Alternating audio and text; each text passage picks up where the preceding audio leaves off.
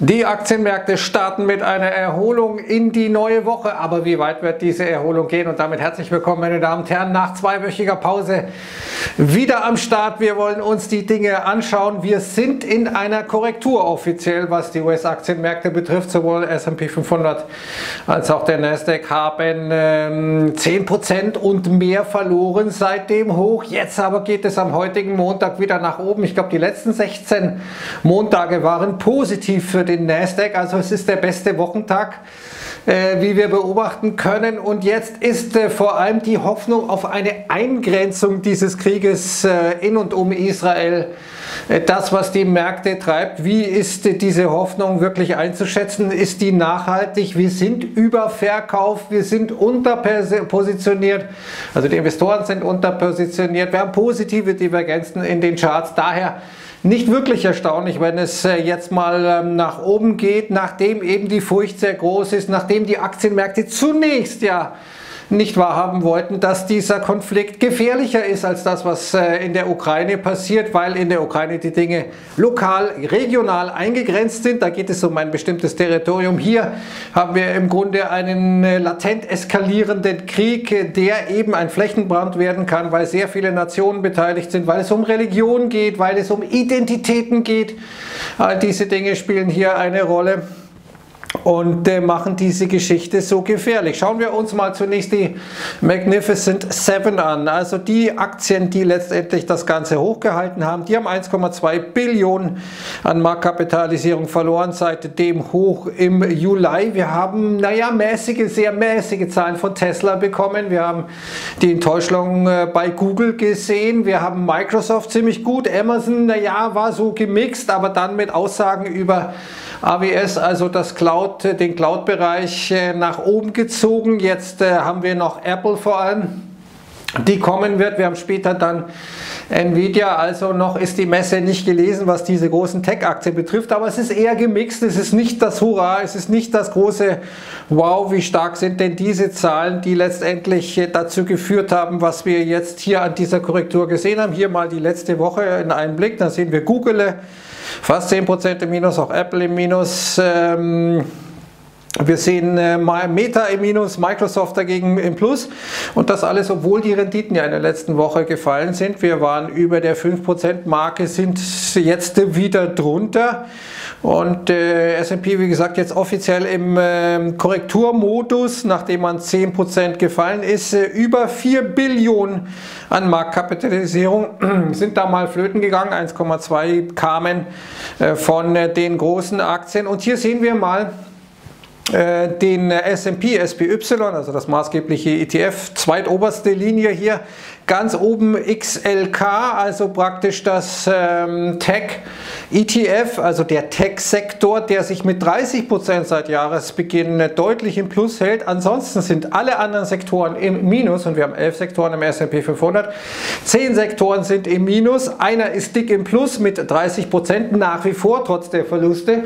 Das führt dazu, dass äh, eben der Gesamtindex, nämlich der S&P, immer noch deutlich im Plus ist mit plus 7%, aber es ist ein einziger Sektor und hier sehen wir eben die Bedeutung dieses Sektors äh, für den Gesamtmarkt, der das Ganze noch äh, wirklich oben hält. Und hier sehen wir mal den Equal Weight Index, also das äh, oder den, den Index, an dem alle Aktien gleichgewichtet sind im S&P 500 und das verglichen mit dem offiziellen S&P 500 und der Equal Weight Index wäre 4% im Minus.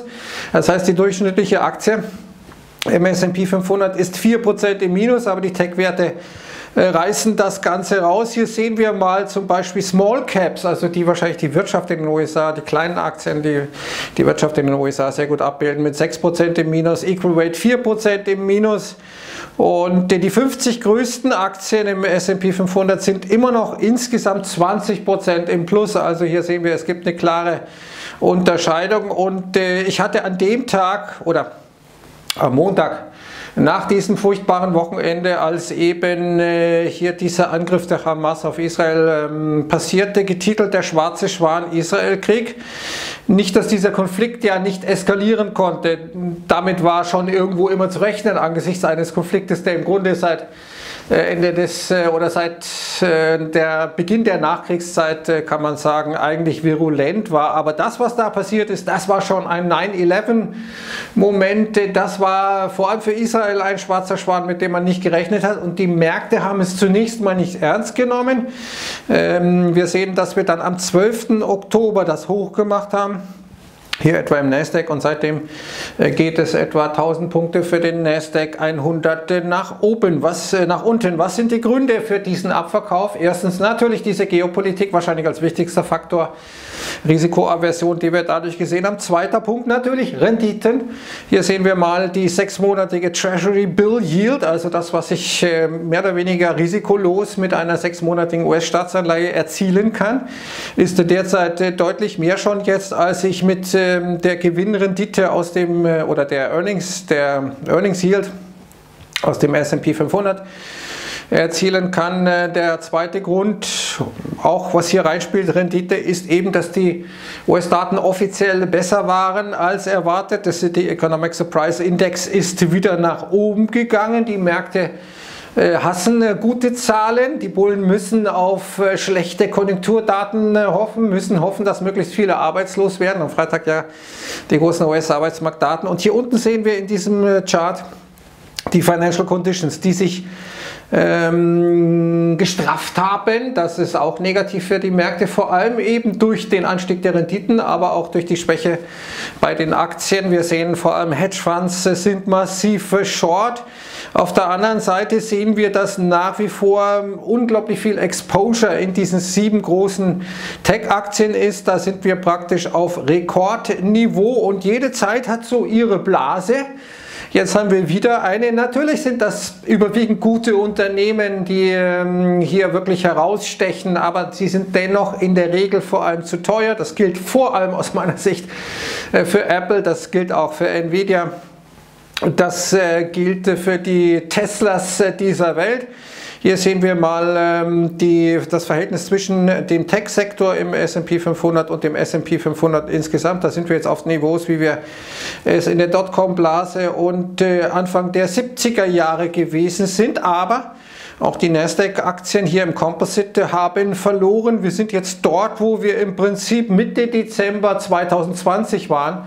Also wenn man so will, übergeordnet sind wir in einer Seitwärtsbewegung mit dieser fulminanten Rallye, mit ähm, äh, dankbarer Segnung der FED, könnte man sagen, die die Zinsen auf Null gesenkt hat, dann äh, sehr viel Stimulus betrieben hat. Dann bekamen wir 22 die Korrektur, dann äh, die Erholung. Jetzt sind wir wieder da, wo wir letztendlich gewesen sind im Dezember 2020 Quantitative Tightening ist das Problem. Also das ist das, was aus meiner Sicht gegen die Bullen spricht. Solange die Fed nicht umsteuert, solange eben äh, die äh, Notenbank tendenziell Liquidität entzieht und nichts hinzufügt, wird es schwer, zumal eben das, was diesen Liquiditätsentzug weitgehend ausgeglichen hat, nämlich dieser fiskalische Impuls der US-Regierung auf Dauer wohl nicht mehr funktionieren wird. Kommen wir nochmal zu diesen Ergebnissen. Wie gesagt, wir haben vor allem schwach Tesla gesehen, wir haben gut Microsoft gesehen, wir haben gemischt aus meiner Sicht ähm, Amazon gesehen, wir haben Google gesehen, die an sich ganz gute Zahlen geliefert haben, aber das Cloud-Wachstum eben war sehr, sehr schwach. Jetzt haben wir in dieser Woche vor allem Apple am Donnerstag, wir haben AMD, wir haben Palantir, wir haben Novo Nordisk, hier aus Europa sehr wichtig. Also die ganz große Geschichte ist vorbei was die Earnings betrifft, aber es kommt jetzt doch noch einiges und wir sehen, dass äh, jetzt die Gewinnerwartungen äh, deutlich runtergenommen wird, hier, äh, genommen wurden. Hier will ich nochmal zeigen, dass die positive Reaktion gemäßigt war, wenn die Zahlen besser, wirklich besser waren als erwartet, aber die Negativreaktion war sehr ausgeprägt, wenn die verschiedenen Unternehmen enttäuscht hatten. Hier sehen wir jetzt mal, wie stark die Prognosen für 2024 runtergenommen wurden. Da hat man sich ja Wunderdinge erwartet, 2024 2024 noch vor kurzem. Jetzt äh, sind die ähm, Gewinnprognosen deutlich nach unten genommen worden für 2024. Äh, wie vertragen Aktien das? Das wird die große Frage sein. Aber hier nochmal das eigentlich zentrale Thema wahrscheinlich für die Märkte, nämlich dieser unglaubliche Tsunami an Schulden. Wir werden entweder heute oder Mittwoch, so genau habe ich es nicht rausfinden können, die neuen Zahlen bekommen, was die US-Regierung an Anleihen emittieren wird äh, für das äh, vierte Quartal.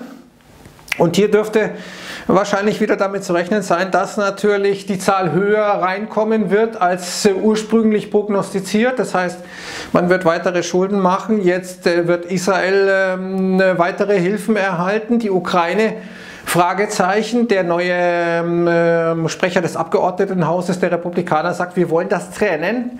Die Republikaner sind weitgehend gegen Ukraine-Hilfen, aber für Israel-Hilfen. Das wird also eine spannende Geschichte. Und die gute Janet Yellen, völlig entgeistert, sagt, naja, also dieser Anstieg der Renditen, der hat mit der Stärke der US-Wirtschaft zu tun. Ja, ein bisschen schon, gar keine Frage. Not the jump in government borrowing. Also das ist natürlich äh, eine so glatte Lüge, dass man ihr eigentlich da erwartet, Watschen geben müsste für so eine Dreistigkeit. Natürlich ist der Hauptgrund dafür, dass die Renditen oben bleiben, äh, eben die massive Verschuldung der USA und diese Schuldenorgie. Wir sehen ja, die FED wird die Zinsen wahrscheinlich nicht mehr anheben oder wenn nur noch ein bisschen was. Also das kann es nicht sein. Ähm, es ist auch jetzt nicht so, dass die US-Konjunkturdaten durch die Decke schießen. So gut sind sie nicht, äh, gerade wenn man mal genauer hinschaut und naja, einige Dinge abzieht, die von der US-Regierung ähm, ein bisschen freundlicherweise hinzugedichtet werden. Aber sei es drum. Jetzt äh, stellt sich eben die Frage, die Mohammed El-Erian stellt, ja, sind wir, haben wir da wirklich noch einen sicheren Hafen bei den US-Anleihen?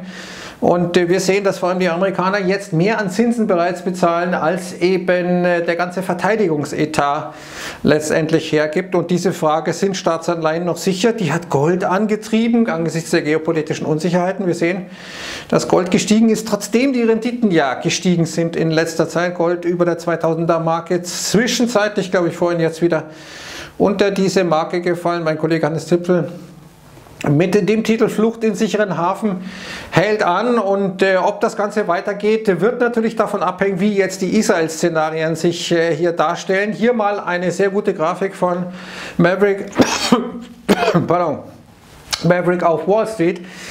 Äh, der hier zeigt, äh, welche Risikoszenarien wir haben von Low Risk und das ist das, was wahrscheinlich jetzt heute so ein bisschen gespielt wird. Naja, wir sehen, dass am Wochenende jetzt äh, nicht die ganz große Bodenoffensive passiert ist, obwohl die wahrscheinlich jetzt schon gestartet ist seitens der Israelis in Gaza. Äh, dementsprechend hofft man, dass das Ganze so ein bisschen eingegrenzt bleibt. Es gibt aber dann eben auch ein Mittelrisikoszenario und ein Hochrisikoszenario. Äh, wir haben jetzt äh, Aussagen von Erdogan, des Iran, die eben auch aus meiner Sicht jetzt nicht unbedingt beruhigend wirken sollten, aber man spielt jetzt eben zunächst mal dieses Low Risk-Szenario. Wir haben natürlich saisonal eine sehr günstige Phase. Wir sehen, dass die Junk Bonds äh, diese ganze, ähm, diesen ganzen Abverkauf nicht mitgemacht haben. Junk Bonds, äh, da haben wir eine Erholung gesehen, während die Aktienmärkte noch gefallen sind. Eine äh, positive Divergenz. Wir sehen hier Market Sentiment. Es ging weiter nach unten, aber im Sentiment sehen wir unten auch eine positive ähm, Divergenz. Wenn wir uns etwa mal anschauen, Fear and Greed Index, NAAIM Exposure, also das, was Vermögensverwalter hier an den Start bringen. Dann sehen wir, da ist schon viel Furcht und der Unterpositionierung der Fall. Und wenn dann irgendwie so ein Szenario gespielt werden kann, wird doch alles vielleicht doch nicht so schlimm wie gedacht oder befürchtet, dann kann durchaus eben was nach oben gehen. Hier sehen wir mal die Stocks above 20 Day Moving Average, also die über dem 220-Tages-Durchschnitt sind. Und dann sehen wir, obwohl der Index ein neues Tief gemacht hat, sehen wir das nicht äh, bei den Aktien äh, unter, ähm, über ihrem 200-Tages-Durchschnitt. Aber die große Frage wird sein, halten wir die Mutter aller Trendlinien, nämlich das, was wir im Prinzip in der Finanzkrise äh, respektive März 2020, also nicht Finanzkrise, sondern äh, Corona-Crash, was wir hier gesehen haben, können wir diese Linie halten. Wir sehen oben im RSI schon sehr, sehr stark abverkauft, sehr stark überverkauft. Also eine Erholung ist jetzt wirklich alles andere als ein Wunder. Äh, das Narrativ muss noch wirklich her. Überzeugend ist bisher dieses, naja, dieser Israel-Krieg, äh, der bleibt eingegrenzt, der überzeugt mich bisher nicht. Abschließend noch äh, drei Empfehlungen, meine Damen und Herren. Schlimmster Oktober für die Aktien seit fünf Jahren, wenn sich jetzt nicht noch ganz grob was nach oben entwickelt heute und morgen. Warum, wieso, weshalb erfahren Sie hier in diesem Artikel. Zweite Empfehlung. Äh, dann äh, immer mehr Anleger verzweifeln an der Nachrichtenlage. Angst essen Seele auf. Äh, so, der Untertitel zweite Empfehlung und die letzte Empfehlung, meine Damen und Herren, ist dann keine Artikelempfehlung, sondern nochmal der Hinweis auf das Webinar mit André Stagge und mir.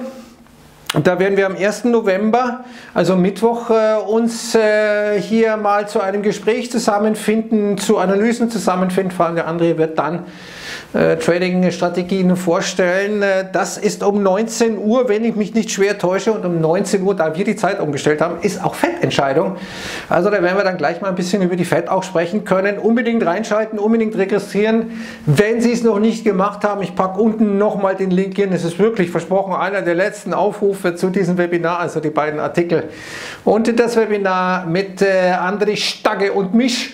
Äh, darauf möchte ich hinweisen. Jetzt wünsche ich erstmal einen guten Start in diese Woche und sage Servus und Ciao.